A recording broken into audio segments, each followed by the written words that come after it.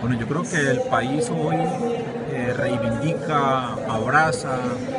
y reconoce a miles de colombianos y colombianas que en este escenario de guerra de más de 60 años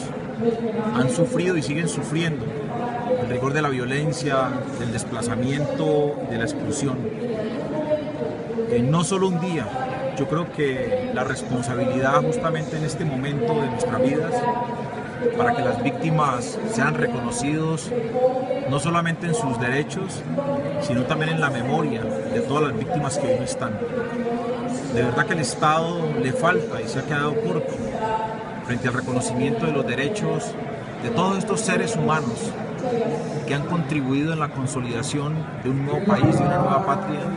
hoy en tiempos de paz. Hoy desde el Congreso, pero también desde toda Colombia, quiero enviarle un mensaje a todas las víctimas, a las que no están y a las que hoy extrañan, a todos sus familiares, a todos sus hijos, esposas, nietos,